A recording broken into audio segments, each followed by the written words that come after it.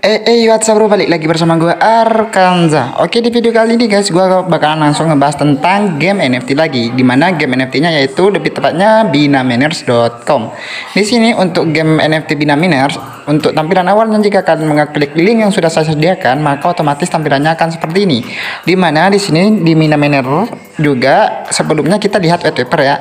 Di sini untuk white white papernya di Miner juga ada semacam farming. Ya emang sih Bina Miners ini gamenya bermeta farming gitu ya guys ya. Tapi tentunya untuk season satunya nanti bakal ada uh, VPE mungkin ya. Karena di situ sudah diterangkan ada monsternya. Dan di sini untuk NFT-nya seperti ini gambarnya ada berapa dan ada keterangannya juga. Dan untuk lami kotaknya di sini ada lima macam tentunya ada yang common biasa dan tentunya ada yang legendary dan tentunya untuk yang legendary itu lebih banyak ya pendapatan untuk LC-nya di sini yaitu untuk Bina Miners ini tokennya yaitu berben, ber, bernama LC gitu ya guys ya. Di sini untuk rerollnya di sini untuk yang biasa sampai legendaris juga diterangkan ya guys ya. Di sini kalian bisa lihat nanti saya sudah akan sediakan white paper di link deskripsi juga guys.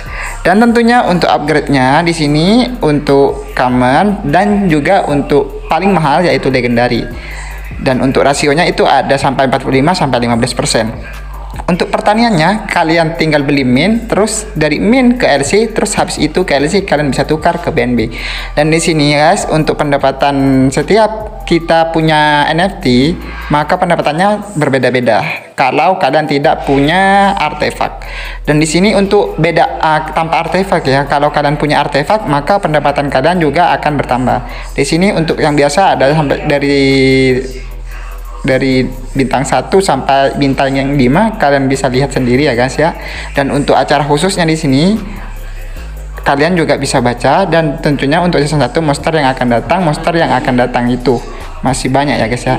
Dan di sini untuk oke okay, mungkin buat kalian nih yang belum paham kalian bisa baca-baca sendiri. Oke lanjut. Kita untuk tampilan awal seperti ini ya. Terus ini ada eventnya juga untuk golden box. Ini sampai dua hari ya guys ya di sini saya mau beli yang uncommon aja ya guys ya. 0,25 MB oke kita beli. Nah setelah kalian beli kalian close aja klik. Nah setelah ini kalian geser ke atas. Nah di atas itu ada gambarnya yang kayak matahari itu. Ada sudah bertambah satu guys ya.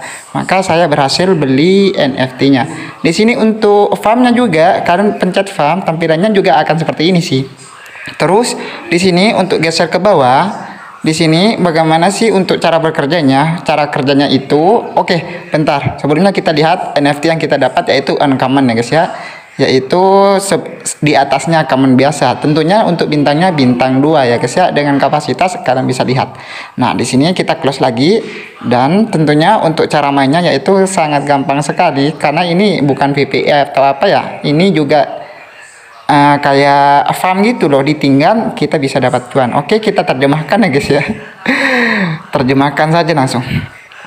Nah di sini guys untuk tas ransel juga ada. Ini untuk tas ransel ini maka biasanya itu kalian bisa dapat 65 biasanya ya untuk tanpa artefak.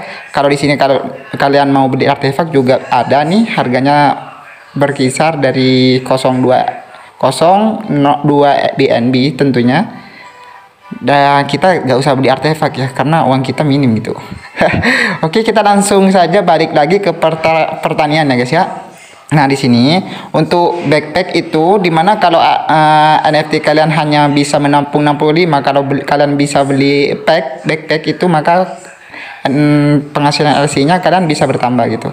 Nah, di sini kita klik ya, klik plus. Setelah itu kita klik NFT-nya. Nah, setelah itu kita selesaikan pembayaran lagi. Nah, untuk fee-nya itu kisaran ya 1600-an ya kalau kita rupiahkan.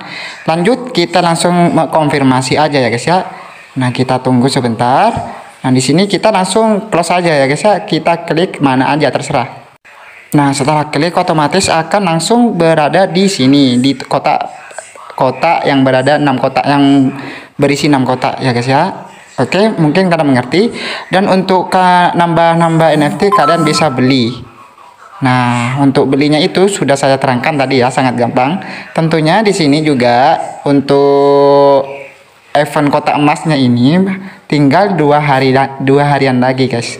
Mungkin buat kalian yang belum ngerti gamenya ini dan oh ya untuk LC nya ya untuk LC nya itu SC nya ada di white papernya. Kalian tidak perlu repot-repot untuk mencarinya lagi mungkin buat kalian yang tidak paham kalian bisa uh, apa ya bisa tanya-tanya kepada saya di kolom komentar. Mungkin hanya ini yang dapat saya sampaikan.